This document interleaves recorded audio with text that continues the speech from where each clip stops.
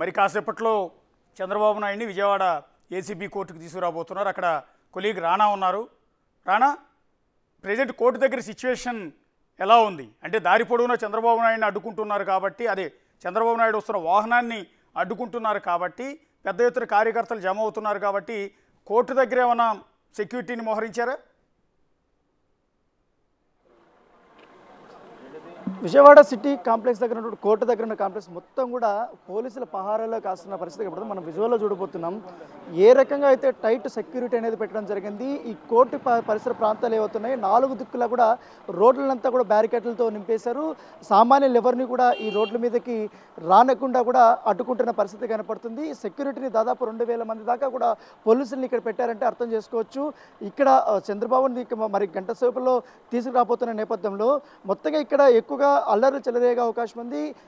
టీడీపీకి సంబంధించినటువంటి పెద్ద పెద్ద నాయకులు కూడా ఇక్కడ కోర్టు దగ్గర ఖచ్చితంగా అడ్డుకునే అవకాశం ఉందని నేపథ్యంలో వారికి ఇన్ఫర్మేషన్ వచ్చిన నేపథ్యంలో ఇప్పటికే చాలా మందిని హౌస్ అరెస్ట్ చేసినప్పటికీ కానీ చాలామంది కార్యకర్తలు ఈ కోర్టు చుట్టూ పరిసర ప్రాంతాల్లో ఉన్నట్టుగా పోలీసులకు సమాచారం ఉంది. ఈ నేపథ్యంలో సెక్యూరిటీని కూడా ఎక్కువ ఏర్పాటు చేసిన పరిస్థితి కనపడుతుంది. ఇప్పటికే ఇటు అగ్నిపాపక సిబ్బందికి సంబంధించినటువంటి ఫైర్ ఇంజిన్ కానీ అలాగే అంబులెన్స్లు కానీ రోప్ పార్టీలు కానీ సిటీలో ఉన్నటువంటి దాదాపు వెయ్యి మంది దాకా కూడా పోలీసులు ఇక్కడ మోహరించిన పరిస్థితి కనపడుతుంది. మిగతా రోప్ పార్టీలు కానీ కమాండోస్ కానీ అలాగే స్పెషల్ బ్రాంచ్ పోలీసులు కానీ వీళ్ళందరినీ కూడా ఈ బందోబస్తులో కూడా పెట్టినట్టు మనకు సమాచారం అంతే. ఒక్కొక్కరు అందరూ కూడా తమ తమ ప్లేసెస్లో కూడా వాళ్ళు ఉంటున్న పరిస్థితి కనపడుతుంది ఎందుకంటే ఇక్కడ ఉన్నటువంటి పరిసరాల్లో సామాన్యులందరినీ కూడా క్లియర్ చేసేస్తున్నారు.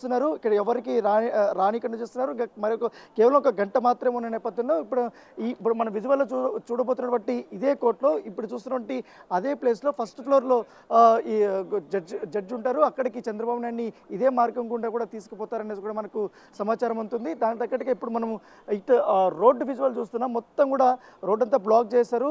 కేవలం ఇక్కడ పోలీసులకు సంబంధించినటువంటి వారు మాత్రమే ఇక్కడికి వస్తున్నారు. అలాగే అడ్వకేట్స్ కానీ వీళ్ళకి మాత్రమే అది అడ్వకేట్స్ కూడా ఈ ఇతర కోర్టులకు సంబంధించినటువంటి కేసులకు సంబంధించినటువంటి అడ్వకేట్లను ఎవరు కూడా లోపలికి అనుమతించలేదు. ఇది స్పెషల్ కేసుగా పరిగణించాం. ఇక హై సెక్యూరిటీ ఉంది.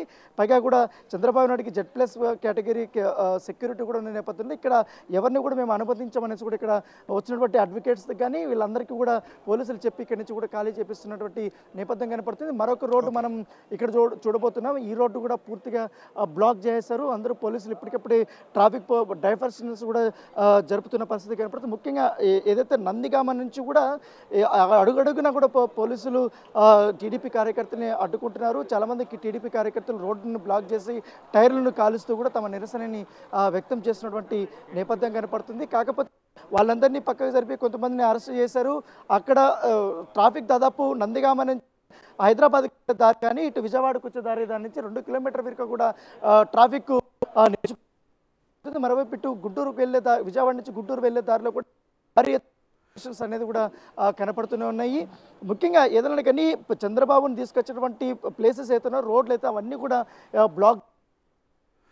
షాప్స్ కూడా క్లోజ్ చేయించినటువంటి పరిస్థితి కనపడుతుంది ముఖ్య ఎందు దీనికోసం అంటే ఎందుకంటే ఎక్కువగా షాప్స్ మనం ఉదయం నుంచి కూడా పలు సిటీలో పలు ప్రాంతాల్లో కూడా చెక్ చేసాము టీడీపీ కార్యకర్తలు ఎక్కువ ఉంది. టీడీపీకి బలం ఎక్కువ ఉన్నటువంటి విజయవాడలో పూర్తిగా షాప్స్ అన్ని బంద్ చేశారు. చాలా ఖాళీగా ఉన్నటువంటి రోడ్లు కనిపిస్తున్నాయి మనకి.